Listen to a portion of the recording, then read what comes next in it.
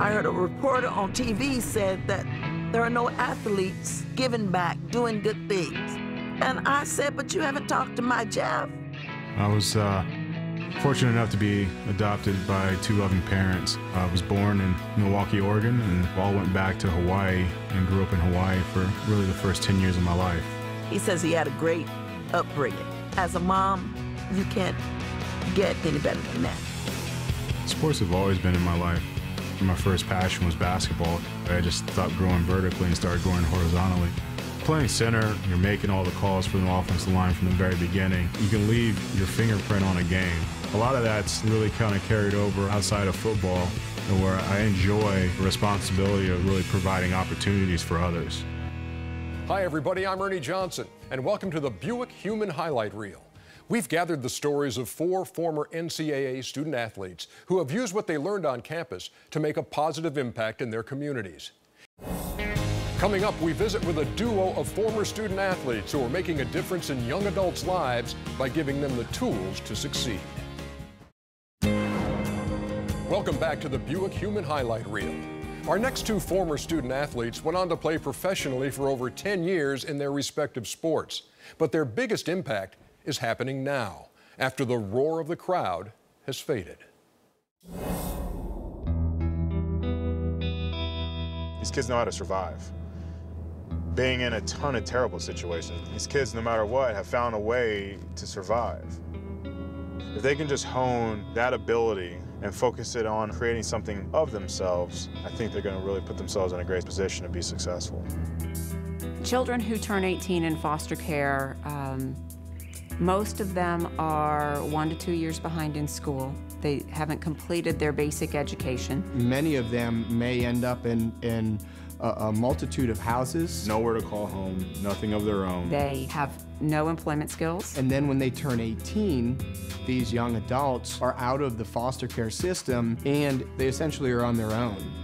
They say good luck and uh, hope you make it. And that's something that I couldn't even imagine.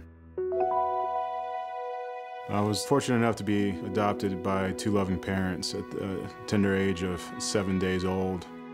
I've always known her as my mother, I've always known him as my father, and I'm thankful for them. I always grew up with sports in the household, but I had to learn what was fun about football. You know, I almost quit my, my first week. My dad just convinced me, you know, just go out for one more week, just see where it might go, and just kept getting better and better, and, and, and colleges started to notice. He was going to be a good football player anywhere he went. But when he decided that he wanted to go to Notre Dame, it was about the man that he was going to be four years later. Everybody knows Jeff as a football player and what he's done in the NFL, but what they don't know is that he's the big brother for the younger guys. He's the mentor. And it takes a unique individual to be that. A lot of that's really kind of carried over uh, outside of football, where I enjoy uh, the responsibility of, of, of, really providing opportunities for others. Jeff wanted to open a home for youth who needed a second chance, so we began planning the opening of the Faine House. The Faine House will be a safe haven. It will provide a home for 10 young men and women to complete their education, a connection to employment. I've been in foster care for about four years, and when you're turning 18, it's really hard for people to want to do something like this for foster kids, I think it will benefit everybody. It really is going to give them basic skills that, that they need that they don't have when they're kicked out onto the street.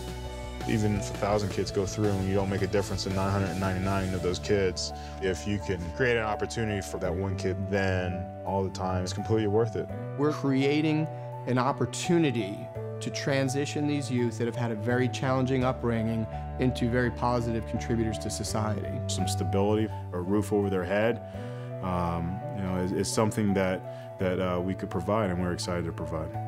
I heard a reporter on TV said that there are no athletes giving back, doing good things. And I said, but you haven't talked to my Jeff.